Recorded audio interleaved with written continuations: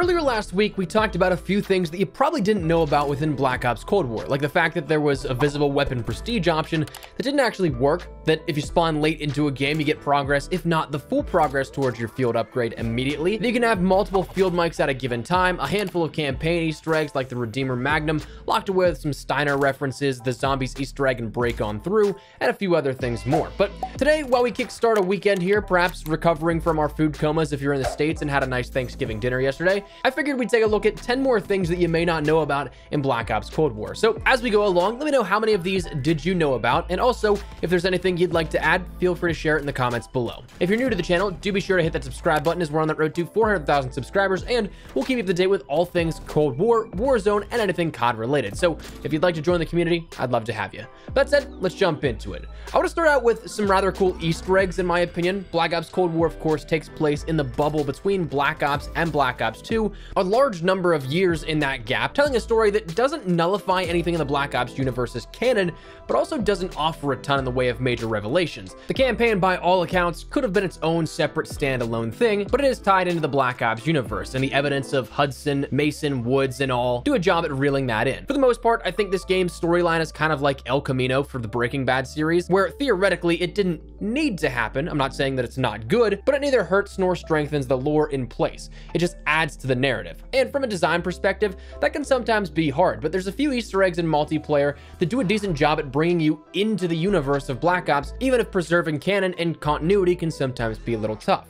Now, for the first one, I want to talk about a Nuketown Easter egg, that being the Site A Easter egg. In the side garage on Nuketown, there's a few photos of the original from Black Ops 1, followed up by a site map next to it, where you see Site A and Site B. Now, if you don't pay any attention to this kind of stuff, you just jump right into games, that's totally fine, and it is what it is. It's not really anything that would really stand out to you. But it turns out that there is a secondary site that being the Nuketown 84 in Black Ops Cold War. But the original site is the original Nuketown from Black Ops 1. So much so that that Black Ops ending outro cinematic for Nuketown actually seems to be canon at this point, where if you go either to the opposite side of the map or you fly around in theater mode, you can see off in the distance, there's a giant crater where the last Nuketown would actually have been, but has been since wiped off the face of the earth. Now, you can't really count on the realism perspective here of this. It's a video game. The proximity to that other site definitely would have wiped off this Nuketown as well, which if you try and think of it from an actual perspective, it is pretty funny to think that that would be fully standing like this one is, but it's a cool little one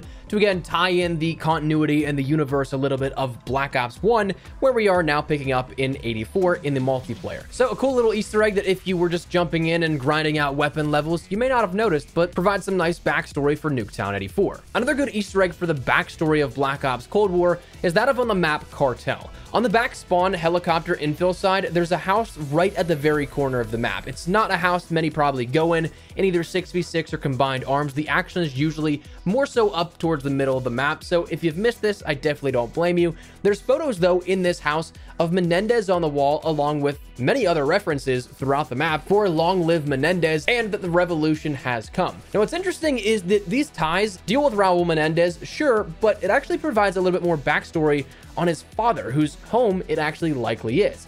Now, the photo of Raul on the wall is of younger Raul. The time and setting the game takes place in in Black Ops Cold War, the established universe and lore would make Raul 17 at the time, so not quite to where we were in hearing his name much in the original Black Ops story arc. But his father, leader of the Menendez cartel, fittingly also part of the name of the map, thus the land they also work on, he's detailed a little bit by some of the artifacts found around the house. It's no new entry into the Black Ops storyline that he was heralded as a hero, but the paper write-up confirms that, saying things like, it's hard to imagine a time when the Menendez last name did not inspire the immediate recognition, respect, and affection of all Nicaraguans. However, less than 15 years ago, Jose Luis Menendez was a working class man. Now, the interesting part here out of all of this, though, is the note, which, while we can't really discern too much of it, brings up a few questions that are pretty cool. One, it ties Menendez's father to an operative named Stitch, and also confirms that Menendez had an associate that was captured by the CIA and will be moving through the map of Miami. So while this kind of opens up a little bit more questions and leads for some more outs that could be made throughout the year in terms of a narrative direction in multiplayer,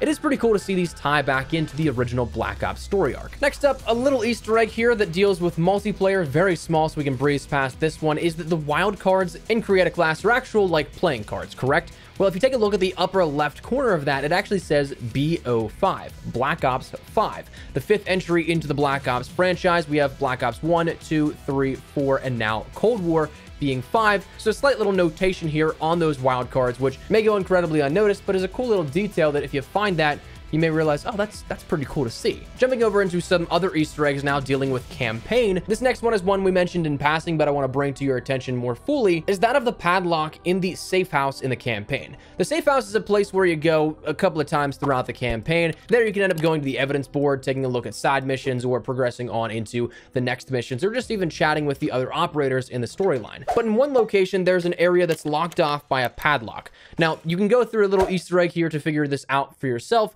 but it actually just ends up being the code of 112263, that being the date of the Kennedy assassination, and is an interesting little callback and tie-in with the brainwashing that Mason had within Black Ops 1. Another one we can kind of breeze through because it's kind of well known at this point here, but does set up implications for the future of not only the Black Ops universe, but also the Modern Warfare universe, is that Imran Zakhaev from the Modern Warfare universe is explicitly placed into Desperate Measures, the mission within Black Ops Cold War and thus the Black Ops universe. Now, it's important to note that this is the new rebooted version and rebooted universe of Modern Warfare. It does not affect the original trilogy that we had played many years ago, but instead is a new variation of the modern universe that is now subsequently taking place in the Black Ops universe.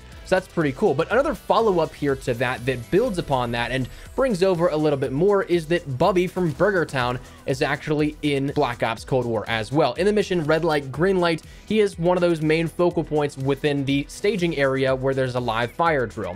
Now, if you actually go over to him, you can actually interact with this with the big red button, and he'll start to spout out a couple of audio lines some of which definitely are kind of raunchy, but a cool little Easter egg here bringing over some, again, universal lore from the Modern Warfare universe with Burger Town, but also Bubby from Advanced Warfare as the murder bot in Zombies. Now, the next few things actually apply to in-game things that you can see and maybe some stuff you may not have known about. And also have been submitted by the community. Some stuff that I pulled from the comments, some stuff that are over on Reddit, and some stuff that overall just kind of fascinated me. For the first one here, as a follow-up from last week's video, Panic Protocol actually pointed out that we talked about the two at one time sort of limit for the field mics, which are incredibly useful, but what if you want more? What if you want to control the entire map? Well, if you're lucky enough, you actually could. We talked about how you needed gearheads so that you could end up getting two of your field upgrades, and also you can end up having a faster recharge time on them so that you can end up having the opportunity to place two at one time. But if you end up running Spycraft, you can actually hack other enemy equipment as well, meaning that you can take over other enemy field mics which could be placed in opportune locations and could give you a ton of information that you otherwise would not have. Also then allowing you to have over two field mics active at a single time. So talk about getting all the information imaginable, seeing all those red dots show up on those field mics. That'd be kind of crazy. Now, the next one comes from Wokest59 over on Reddit, in which Turns out you can actually shoot down a cruise missile. If you have impeccable timing to show for it and incredible aim, you can actually take that thing out mid-air. So it's something that I know I find myself always dying to cruise missiles. Anytime I see one come in and kill a teammate somewhat close to me, I kind of just look up in the air and I'm like, well, I accept my fate. So maybe next time I should try and shoot it before it takes me out. Interestingly enough, kind of as a follow-up for destroying streaks before they actually come in, if you end up seeing a care package drop ship quick enough, you can actually take that out with one Cigma rocket and deny players of their care package. So if you're fast, definitely some stuff to note here. Next up, coming from Gunner in the Grass, you ever wondered what happens when two air patrols go at each other? What happens if you call in two at the same time? Well, turns out one will actually be destroyed, presumably the one that was called in slightly earlier, unless they were somehow on the exact same timing. Maybe they cancel each other out then at that point, but maybe that's a new way to save your streak from going down. If your teammate has one, have them call that in as soon as you hear about it. And finally, the last thing we'll talk about that you may not have known about comes from Reddit user MemeVigod69420 for the memes, man, for the memes. But he ended up sharing a clip of actually being able to take out a helicopter by punching it. Now, of course, he was dropping in into fire team, trying to get some challenges done, presumably for his rockets, trying to take out the streaks with the Cigma, and while he damaged it, he didn't get it completely out of the sky. That is until he drops past it and melees it at the same time midair, which actually credited him with taking out the helicopter. Pretty crazy if you ask me, but something pretty cool as well. That's 10 things you may not have known about. Again, 10 additional things on top of what we talked about last week. So that's where we're going to wrap it up. I'd love to get your thoughts and feedback down there in the comment section down below. What do you guys think of these here? How many of these did you know, firstly? And also, is there anything you'd like to share as well? Maybe we can do one more follow-up here. Don't know how many more we can get out of this because we start to learn more and more, of course, as time progresses. So being a couple of weeks now into Black Ops Cold War, there's not a lot of things that may strike you as a really big surprise. If there is something, feel free to let me know your thoughts down below. But hopefully you enjoyed the video. If you did, make sure you drop a like down below. And of course, if you are new to the channel, make sure you guys subscribe so you don't miss a single thing regarding all things Black Ops Cold War, Warzone, and of course, Modern Warfare and anything else related to COD. We'll keep you up to date. So if you're interested, hit that subscribe button. If you also want to follow me over on Twitter and Instagram, those are the best places to get connected outside of YouTube. Practically live on both those. If you guys want to strike up a conversation, ask me a question, whatever it may be, that link is down there in the description below. But said, thanks so much for watching. My name is Espresso. I'll see you guys later. Take care and peace.